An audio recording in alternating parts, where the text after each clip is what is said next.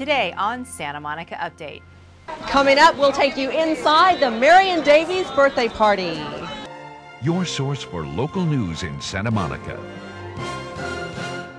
San in honor of what would have been her 115th birthday, Santa Monica Conservancy docents turned the spotlight on Marion Davies, actress, philanthropist, famed party hostess, and mistress of media tycoon William Randolph Hearst. Reporter Tamara Henry dusted off her 1930s hat and joined in the fun. To Marion, the darling of her era, beloved by her friends, and remembered by her fans to this day. To Marion. To Marion. Here, here.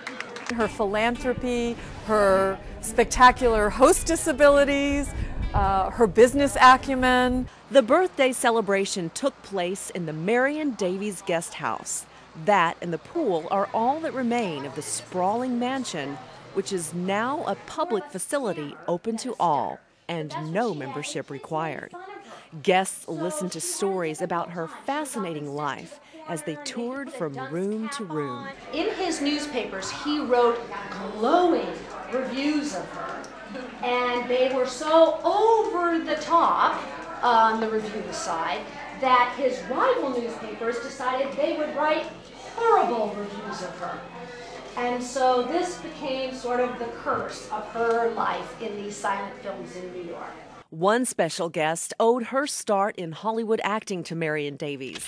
The young girl was making just $2 a week when her father lost their house during the Depression. And so one day we were here uh, on the beach, and uh, the maid came out and said, "How would you like? How would your kids like to work in the movies?" Oh, we love that. Thanks to Marion, she was then under contract with MGM, making $75 a week, with which she was able to support her entire family. One fabulous example of Marion's generosity and hospitality. Marion was like the bubbles in a glass of champagne.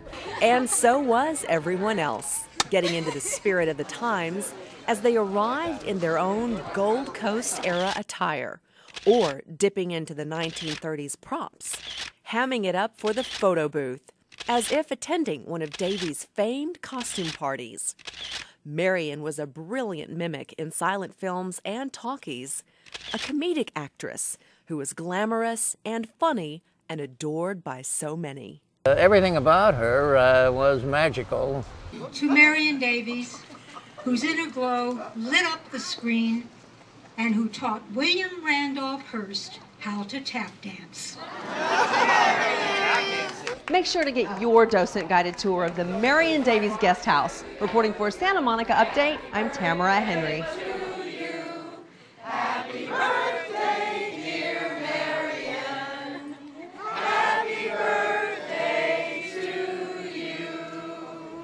The Annenberg Community Beach House always has something fun and inspiring happening.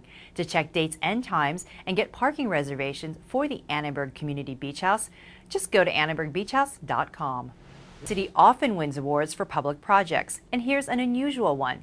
Our brand new beach restrooms have been called the 2011 Project of the Year by the American Public Works Association. This prestigious award is only given to projects that are unique and innovative and which contribute to the quality of life, including sustainability and environmental awareness. The new public restrooms bring six new and one renovated ADA compliant facilities to the beach. These facilities have low maintenance finishes and fixtures and take advantage of our mild climate by maximizing natural day lighting, passive cooling, and air circulation. And our historic beach culture and natural resources are an important part of the project. Interpretive elements consisting of perforated metal panels are the privacy screens at each facility. Unique to each are panels that depict historically significant site features or events, including our red sandstone bluffs, Inkwell Beach, images of the Tongva culture, Grunions, beach volleyball, and our historic yacht harbor. Congratulations to everyone who helped make these new public conveniences a reality. Well, that's it for this edition of Santa Monica Update. I'm Kina Chin, and for all of us at City TV, thanks for watching.